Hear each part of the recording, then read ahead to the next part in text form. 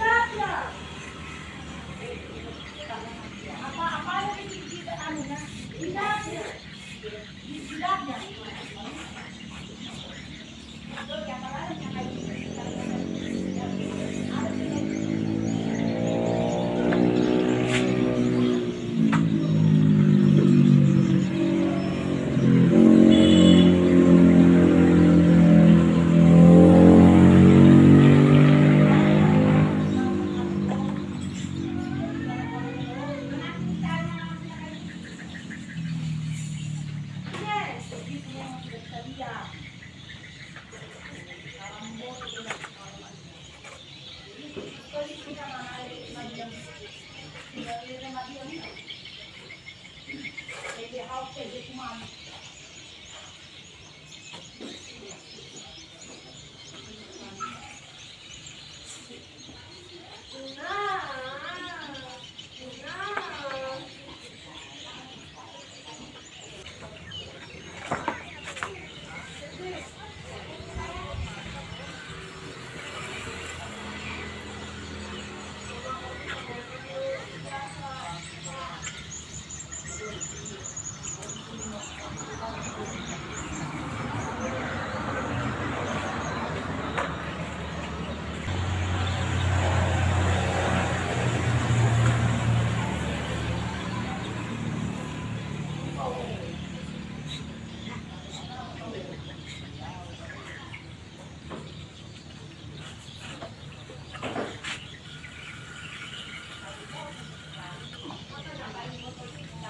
over it.